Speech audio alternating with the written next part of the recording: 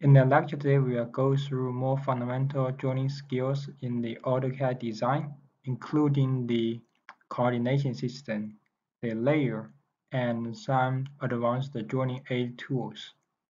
Let's first go through the coordinate system in AutoCAD. We know that AutoCAD can draw some figures accurately, and this requires the help of coordinate system. With coordinate system, the locations and directions of objects can be placed accurately in one design. In AutoCAD, there are two types of the coordinate systems, world coordinate system and user coordinate system. The world coordinate system is used to define the global locations of all objects in the design. The system has only one origin, 0, 0, and it cannot be modified. Also, it uses x-axis to replace horizontal directions and the y-axis to define vertical direction. Besides the world coordinate system, we can also define our own coordinate systems. This is the user coordinate system. The user coordinate system can determine the default placement of a geometry in the joining. This indicates we can identify any point in the joining as the origin for the coordinate system. Also, we can change the rotation angle to revise the directions of x and the y-axis. The user coordinate system is very helpful for us to simplify some complex design with irregular angles and locations. In AutoCAD, we can draw both 2D and 3D objects so that there are two-dimensional and three-dimensional coordinate systems. For 2D coordinates, there are two types of definitions, rectangular coordinates and polar coordinates. At the rectangular coordinates, one point is defined as its distance to x-axis and y-axis. Also, you can use the absolute and the relative coordinates to define the point. With the absolute coordinate, you will always use the origin of the coordinate system to calculate the distance to x and y axis. With the relative coordinates, you assume that the origin of the coordinate system moves from its default origin to the previous point that you just defined or operated. Then you can calculate the relative distance to x and y axis with that origin. Usually the relative coordinate system can simplify the calculation of the coordinates in your joining. The format of the absolute rectangular coordinate is x, y and the format of the relative coordinates is at x, y. At the polar coordinate system, one point is defined with its distance to the origin of the coordinate system r and the counterclockwise angle of the line connecting the origin and the point with respect to positive x-axis theta. Also, there are absolute and relative polar coordinates which are similar to the definitions in the rectangular coordinate system. The format of the absolute polar coordinate is r smaller theta, and the format of the relative coordinate is at r smaller theta. In three-dimensional joining, there are three types of coordinate system. The first one is the rectangular coordinate system. And the picture here actually shows one example of the rectangular coordinate in three-dimensional space you can find that the location of one point is defined by the distance of the point along the three axes, x, y, and z. Similar to two-dimensional joining, we have the absolute coordinate which use the actual origin of the coordinate system, and the relative coordinate which use the previous point as the origin.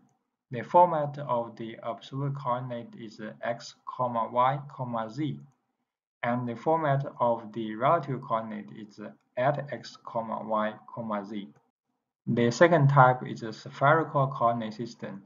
In this coordinate system, the location of one point is defined as its distance to the origin of the coordinate system r, its angle to z-axis theta, and the angle between the projected line and the positive x-axis phi.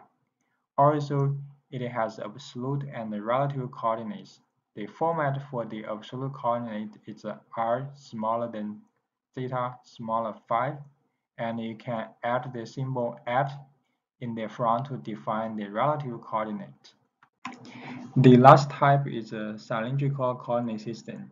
In this coordinate system, the location of one point is defined as the distance from the projected point to the origin of the coordinate system R, and the angle between the projected line and the positive x-axis phi, and the height of the point z. It also has both absolute and relative coordinates. The format for the absolute coordinate is r smaller phi, comma z. And you also can add the symbol at in the front to define the relative coordinates. So these are the definitions of the coordinate systems in AutoCAD.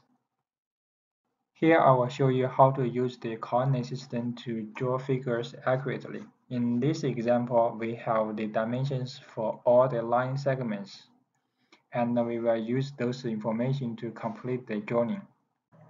Now I'm going to show you how to complete the figure with the coordinates. We will start from the corner here and draw all the lines clockwise. So the first thing you need to do is uh, call the line command. You can either use the icon here or type the line under the command window. Now you will be asked to select the first point of the line segment. You can choose any point on the screen. And then let's go to draw the first line, the vertical line here with a length of 1.78. We will first use the relative rectangular coordinates. So here for that coordinate you have to type at 0, 1.78 and that's the vertical line. And then let's draw the horizontal line with a length of 0.5. Type at negative 0.5, comma 0. We have the horizontal line to the left. And then we will use the relative polar coordinates to complete the next, next line segment. You type at 2.5 as the length of the line segment and the angle would be 90 degree for the vertical line smaller 90 and then let's draw the horizontal line with a length of 4 units. Type at 4 smaller 0 degree. And that one gives you the horizontal line. And then you, you can draw the sloping line. We will use the relative rectangular coordinates. Type at 1.52 comma negative 1.52 and then get the sloping line. And then for the vertical line downwards we are using the relative polar coordinates. The length is uh, 0.56 so it's uh, at 0.56 smaller the angle is 270 degree for the direction downwards and then for the horizontal line we have the length of 2.1 at 2.1 plus the angle is 180 degree. And we have the vertical line with the unit of 1 at 1 less than 270 degree downwards. And we have another horizontal line segment at 2.1 angle 0 and we have vertical line. We have the length of 1.2 at 1.2 less 270 degree. And then we can connect the line back to the origin.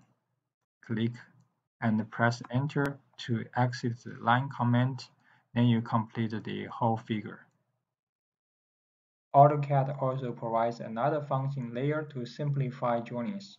When the joining becomes visually complex, such as the room layer here, you probably want to hide the objects that you currently don't want to see or you don't want to modify during the joining. In that sense, we can introduce layers. A layer can be considered as a large piece of clear plastic on which a part of the whole joining is made so that you can oversee the other objects and you can insert or modify objects at the correct locations.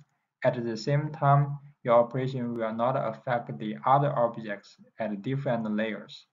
In the design of the room layout, you can split the design into cabinets, fixtures, electrical, doors, and floor plan, and draw the same types of objects in one layer. In the next several slides, I will show you how to operate the layers in AutoCAD. First, to generate a new layer, you can type the command layer on the command window or go to the toolbar and find out the layer, layer property, and uh, then it will pop out the layer property window like the picture here. You can then add a new layer by clicking the new layer here. Then a new layer will be generated. You can then modify the name of the layer. And you also can add more layers by clicking this icon here. For each layer, you can set the properties of the lines that will be added to the layer, including their colors, width, and weight. For the color, you can just type the command color to modify the color for the lines. For the line width, type the line weight or L weight to change the values. For the line type, type line type to modify their values. You can also use the properties in the toolbar or type the command dd modify to change all those properties. AutoCAD also provides some advanced functions for you to control layers. If you have a design with multiple layers, you can go to the layer property window and switch different layers displayed on current screen. Also, all the layers you defined on your drawing can be deleted, except the current layer displayed on the screen and the layer 0, which is the base layer for all the drawings. These two layers cannot be deleted and you can decide whether you want to open or close a layer. A closed layer will not be displayed on your drawing. Another advanced function is freezing. A freeze layer cannot be displayed, modified, or printed. Similarly, you can decide whether the layer will be locked or printed. A locked layer can be displayed on the screen, but it cannot be modified. Well, if we decide not to print one layer, then the layer will be locked for the printers and it cannot be printed. Now I'm going to show you how to operate layers in AutoCAD. This figure shows one room layout. It actually has a lot of layers. If you want to see the property of the layers, you need to open the layer property window. So you can either click the icon here layer property to activate that window or you can type the command layer to activate that window. Now you will see that there are more than 10 layers which will define different components in this design. If we want to add one more layer, click the icon here, new layer, and then you will generate a new layer and you can define the name of the layer. Set this one as floor click enter, a new layer is generated. You can change the color, the type, and weight of the lines added to that layer. If you don't want to keep the layer in your drawing, you need to click delete layer icon here to remove that layer. And you will also see that there are three functions. The first one is on, which means you can decide whether you want to open or close a layer in your drawing. And for example, if we go to the layer style, and if we turn off that layer, click here, the style will not be displayed on your screen. And you can click it again to open that layer. That's the function of on and off. For the second function, the freezing, you can decide whether you want to freeze one layer, and we know that a freezing layer will not be displayed, modified, or printed for your drawing. So click this one, you will also not see the layer on your drawing right now. And the third one is a lock. If you decide to lock that layer, the objects on that layer will still be displayed on the screen but you cannot modify any components in that layer. Here you see that all the lines are locked by this function. You cannot even uh, choose the objects there. If you unlock that layer, now you can select the objects and do some modification about the objects. Those are about the operation of the layers. AutoCAD also provides some useful joining tools to help users to complete the design efficiently. The first thing is the grid in the joining area. You can press F7 to open and close grid. Also, the spacing of the grids can be modified at the property window as the figure here. You can type DD setting, DS, SE, or DDR modes to activate the property window. In the next slides, I'm gonna show you how to modify the property of the grid. Now I'm gonna show you how to set grids in AutoCAD. Here we already have the grids in the joining area. You can actually press F7 to deactivate the grids. And you also can go to the setting type DS and it will pop out in the draft setting window and here you can uncheck this option to disable the grids. And if you want to display it again, type DS and check the option. Here you will see that we have the selections for the grid spacing. You can set the values for the spacing at the x-axis and the y-axis. For example, if I modify this one to 1 and uh, then the distance between two grid lines will be one unit. And you can also set the number of the cells between two major lines. The default value is 5. You can also modify those one to 10. Then the uh, you will have less major lines displayed on your screen. So those are about the setting of the grids.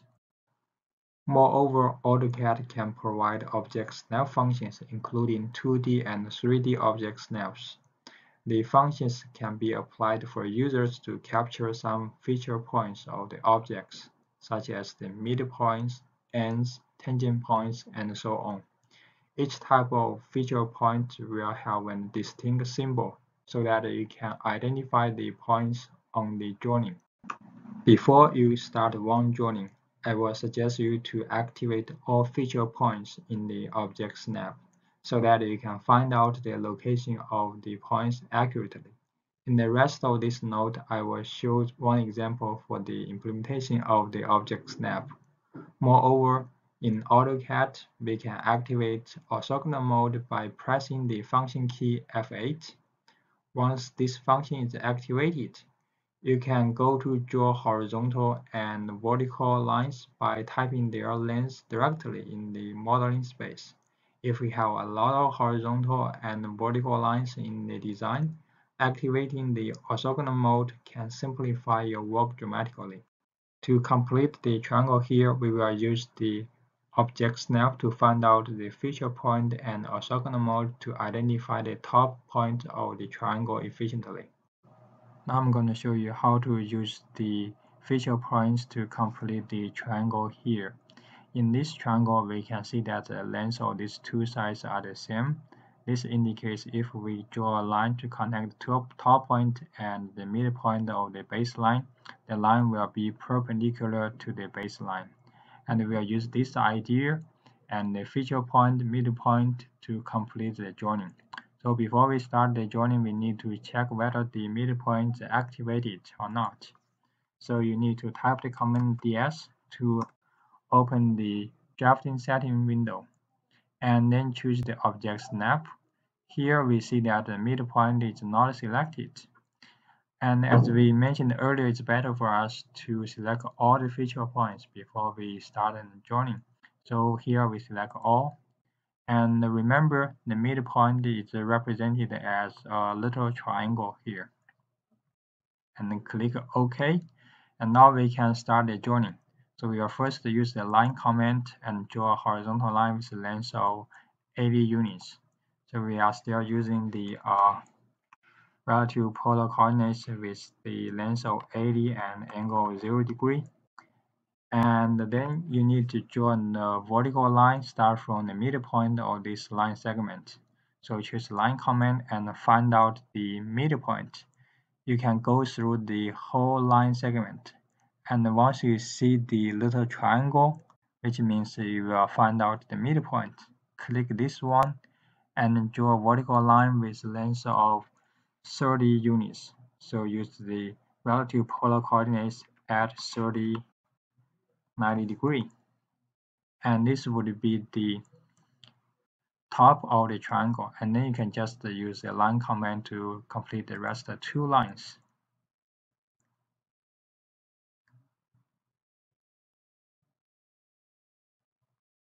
And then delete the assistant line.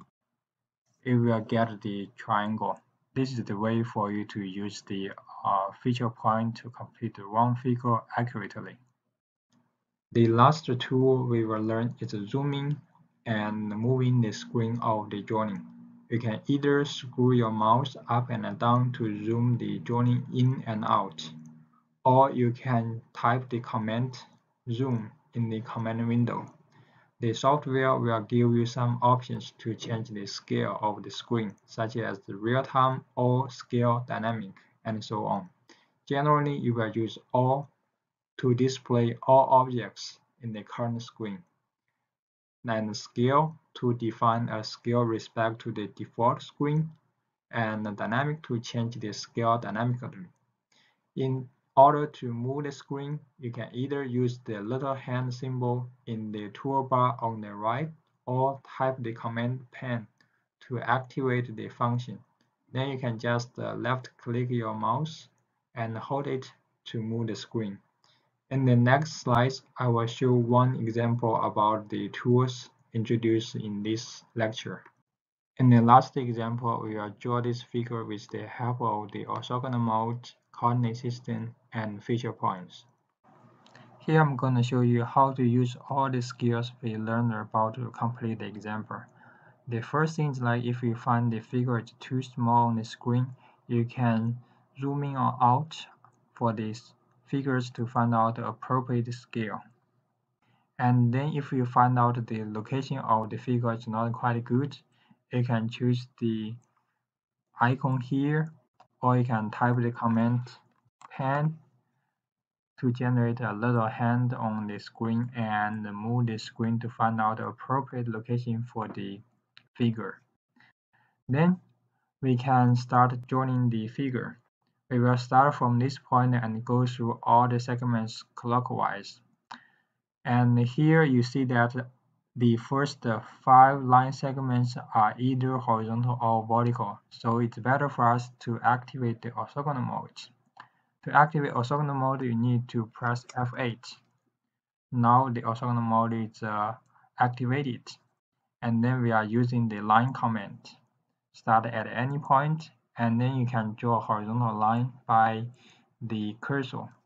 And uh, here you just need to type the length of the line segment 15 and then go downwards with the length of 5 units get the vertical line and go to right with the length of 10 upward 5 right 15 and for the sloping line here we can use the relative rectangular coordinates and the value is negative 20 negative 30 so we can type the value at negative 20 comma negative 30 to draw the sloping line. And for the baseline here the length is 30 units. So we just uh, choose the length 30 and uh, for the last line segment, you need to deactivate the orthogonal mode. Press F8 and orthogonal mode is off and then click back to the origin. Then you complete the whole joining. This is the way for you to use the orthogonal mode and the coordinates to complete one joining.